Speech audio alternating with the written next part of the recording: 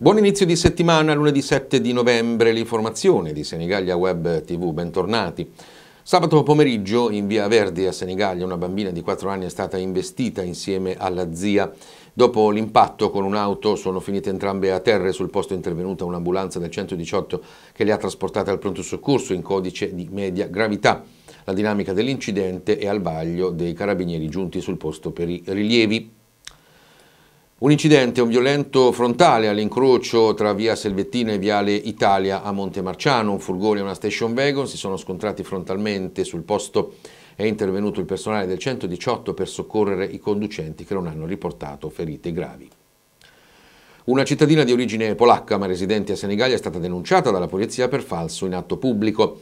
La donna era stata fermata alla guida di un'auto con targa polacca. Durante il controllo dei documenti gli agenti della pattuglia hanno notato che il timbro della revisione della vettura era stato falsificato. Il veicolo è stato quindi sequestrato e la donna denunciata. Taglio del nastro per la nuova palazzina direzionale di alta specializzazione presso la residenza protetta di Fondazione Città di Senigallia. Far vivere meglio, molto meglio, al meglio possibile gli ospiti che sono degli anziani fragili che vengono ricoverati da noi e contemporaneamente si pone come scopo quello di far vivere meglio chi lavora all'interno della struttura, quindi migliora sia la condizione di vita dell'ospite ma anche la funzione del mio collaboratore, sia che sia infermiere professionale sia che sia OSS. È una struttura che si pone tecnologicamente all'avanguardia perché ha sia ossigenoterapia che vacuum che posti letto adatti a ricevere un paziente allettato a permanenza alleviandone le sofferenze, eh, sia sistemi di igienizzazione e di pulizia all'avanguardia ma è una struttura che si pone all'avanguardia anche perché intanto abbiamo migliorato il sistema antisismico delle due palazzine. Tecnologicamente si pone all'avanguardia per l'abbattimento dei costi energetici e per la domotizzazione spinta di cui è eh, servita.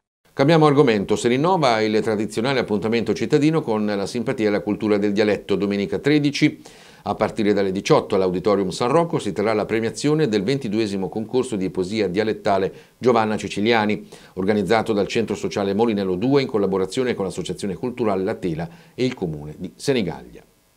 Come si scrive e si legge una fotografia? Questo è il titolo della conferenza dibattito presentata dal giornalista Salvatore Gaias che si è svolta sabato 5 novembre all'Auditorium San Rocco di Senigallia. Noi abbiamo fatto questi incontri, siamo, questa è la seconda di una serie di incontri, il primo abbiamo fatto sul linguaggio parlato, ma la verità è che il linguaggio parlato e il linguaggio visivo sono due facce della stessa medaglia e faremo adesso un terzo incontro che approfondirà il meccanismo del flusso delle notizie visive e, e, e parlate facendo venire una persona esperta di uffici stampa, cioè un collega, io sono un giornalista da, da professionista da tanti anni, ho finito mio, la mia carriera e, e, vivo a Senigallia con entusiasmo perché mia moglie è di queste parti e finito la mia carriera come caporedattore grande, del maggiore giornale italiano, e, ma mi diverto a parlare di fotografia come un matto.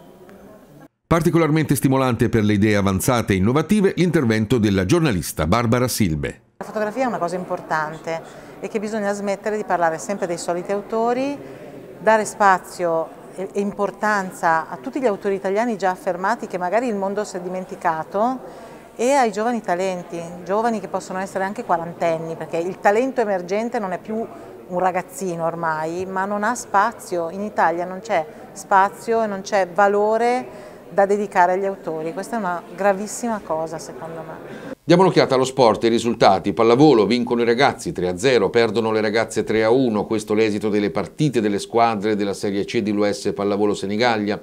Per la squadra maschile della Security Tape è la prima vittoria in campionato dopo tre sconfitte per 0-3 nelle ultime tre giornate. Brutte notizie invece per la squadra femminile battuta 3-1 a Marina di Montemarciano dall'Esino Volley.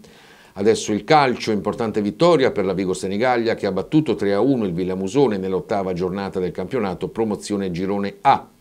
Il basket, vittoria per la pallacanestro Senigallia che batte di misura 72-71 la neopromossa Perugia nella sesta giornata della Serie B, Girone D. Diamo un'occhiata alle condizioni del tempo di martedì 8 novembre sulle Marche, cielo attesa, una certa variabilità sulle province settentrionali con i dissolvimenti più estesi previsti sulle coste. Le precipitazioni previste nel corso della giornata in modesta intensità e diffusione, specie sulle zone interne e a sud, i venti occidentali deboli sulle zone interne fino a moderati sulle coste. In calo le temperature. Previsioni elaborate dal Servizio Agrometeo regionale dell'Assam. Grazie per averci seguito, a domani.